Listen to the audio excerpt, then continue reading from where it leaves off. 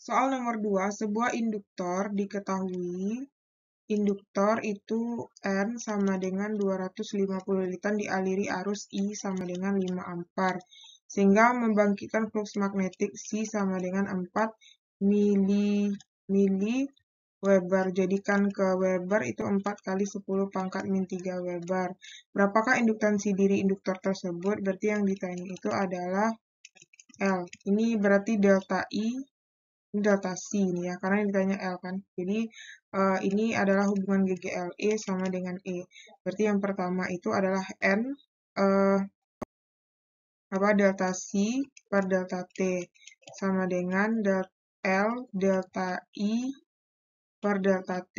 Nah, jadi karena delta T nggak diketahui, kita anggap sama. Baru kita masukkan N, N-nya 250, uh, C-nya adalah 4 kali 10 pangkat min 3 sama dengan L delta I-nya adalah 5.